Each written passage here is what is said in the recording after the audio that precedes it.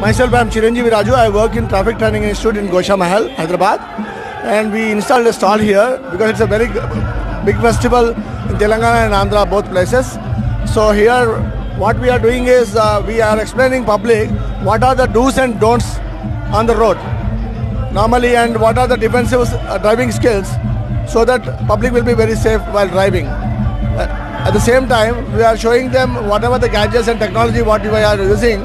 So can you explain about the gadgets And that the traffic uses? Uh, some of the gadgets are one is uh, tint meter, which will allow us. To, it's a visual light transmittance meter, which will allow us to measure the allowed level of light into the tinted glasses of vehicles. The- Like front and rear mirror should be more than 70%. Okay. And side mirror should be more than 50% of the visibility has to be there. Okay. At the same time, we are explaining how the breath analyzer works. It's a tint meter. Normally, what we do is initially we check uh, with the reflector. It's 100% pure. Now, suppose any car glass is tinted, then we check with this.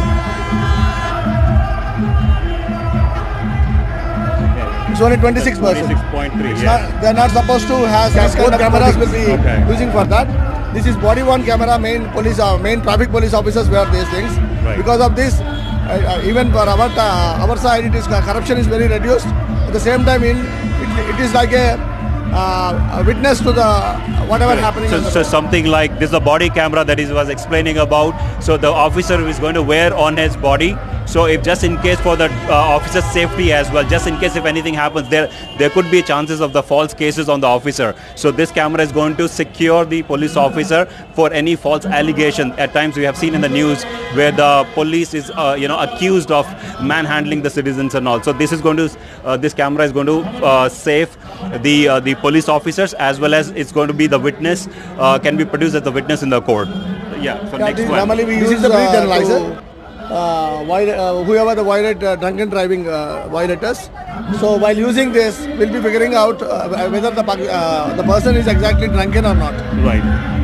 So how do you do that? What's the allowed uh, limit? It is, it is uh, above 30 mg for 100 ml blood. Okay. Above 30 mg, uh, above more, we'll be booking the cases. We won't be bo- booking. the Okay, cases. there won't be any cases, but there would be kind of counseling, maybe. Yeah, yeah, yeah. We'll be doing. Okay, just to ensure that you know people they don't get intoxicated and drive. So, uh, so there's a very good thing. Yes, uh, I think the police they we have seen that quite often. Uh, police using it to ensure it's not for the motorist safety, it's for other people's safety as well. So to ensure that people they don't drink and drive and cause any kind of hazard to any other any other people. Any blood alcohol concentration level is higher. Right. Obviously, the driver's uh, reaction and the balance will not be the same. Correct. And mostly they'll be very aggressive mode they'll be driving. Perfect. Yes. To reduce it, we are using this. Okay. Next one. These are all tabs normally all officers we use regarding uh, to abstract information through this. Okay. At the same time, So this uh, is live connected to Wi-Fi or uh, internet where internet, you can. internet through some.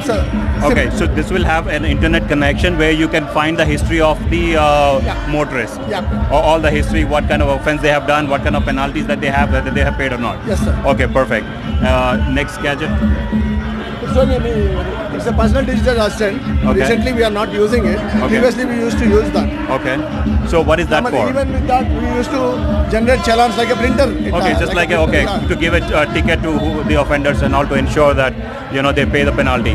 So uh, let me ask you. So if any, if there is, if there is any person who violates the traffic law, so do they have to pay the penalty right then, or uh, how much uh, time they have? Because most of the people that we have seen, they do not have the knowledge, uh, you know, when to pay the penalty, where to pay the penalty. Most of the violations nowadays we are directing to court. If any big violations happens on the roads, then uh, the penalties has to be paid in the courts. Most of the penalties. Okay. And small penalties like uh, without ha- helmet kind of things, you can pay. They, people can pay online. Online. Yeah. Okay. Is there any compulsion to pay it at the officer itself, right there by cash? Uh, nowadays not. Okay, so there is no provision to pay cash anymore. Yeah, yeah. Okay, so yeah, this is a very good information. Uh, Mr. Raju has said that uh, so basically police these days they are not collecting any more cash. Either the uh, penalty has to be paid online uh, or in the court itself. Well, thank you. I really appreciate you talking to us and educating us. Uh, and I hope the citizen will uh, take uh, uh, cognizant of this and they will not violate any kind of uh, traffic rule to ensure the safety of the rule and for the citizens as well. I appreciate uh, so much, very Mr. Thank you so much. you a very happy Sankranti. We wish you the same. Thank you so much.